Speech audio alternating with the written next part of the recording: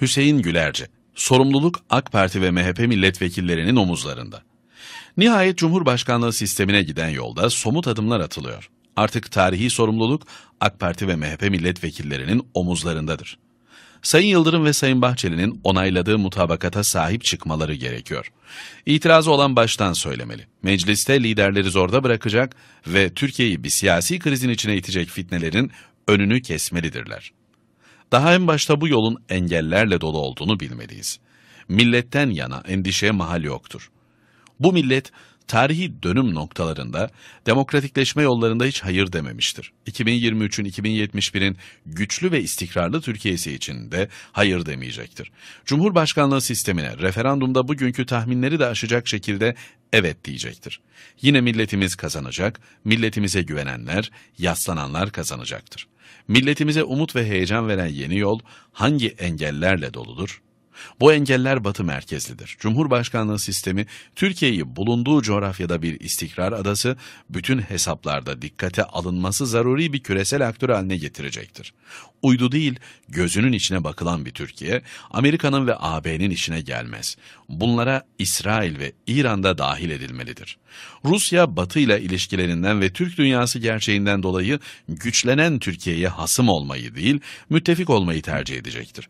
Bu süreçte her iki ülkede karşılıklı güvene dayanan ilişkilerin öneminin farkındadır. Batı, Türkiye ile Rusya'nın arasını açmak için her türlü kumpası kurabilir, provokasyonu yapabilir. FETÖ'cülerin düşürdüğü Rus uçağı örneğini hiç akıldan çıkarmamalıyız. Avrupa Parlamentosu'nun geçen hafta üyelik sürecini dondurma kararının ardından CHP lideri Kılıçdaroğlu'nun değerlendirmesini unutmayalım. Bu yaptırımın ardından ekonomik ve siyasi yaptırımlar gelecektir dedi. Önceki yazımda Kılıçdaroğlu neyi biliyor da böyle konuşuyor diye sordum ve ekledim. Demek ki Batı'nın yeni saldırısında bu defa ekonomik ve siyasi darbe girişimi var. Mesele Cumhurbaşkanlığı sistemini önlemek değil, bu sistemle büyüyecek Türkiye'yi çelmelemektir. Batı'nın oyununu en başta AK Parti ve MHP milletvekillerinin anayasa oylamasındaki dik duruşu bozabilir. Oyun bellidir. Adını yüksek sesle telaffuz etmediğimiz bir savaşın içindeki Türkiye'nin belini kırmak için ekonomik ve siyasi kriz tezgahlanacaktır. Siyasi cinayetler, şehirlerde yeni terör saldırıları, halkı sokağa dökecek provokasyonlar karşısında hepimiz teyakkuzda olmalıyız. 15 Temmuz darbe girişiminde tutukluk yapan batılı unsurlar bu defa açıktan cepheye sürülecektir. 1 Kasım seçim yenilgisi ve 15 Temmuz atmosferiyle bir süredir uysal davranan malum medyanın gezi olayları, 17-25 Aralık siyasi darbesi, MİT tırlarının durdurulması ihaneti ve 7 Haziran öncesindeki görevlerine dönmesi şahsen beni hiç şaşırtmaz. Yoğun bir algı operasyonu yürütülüyor.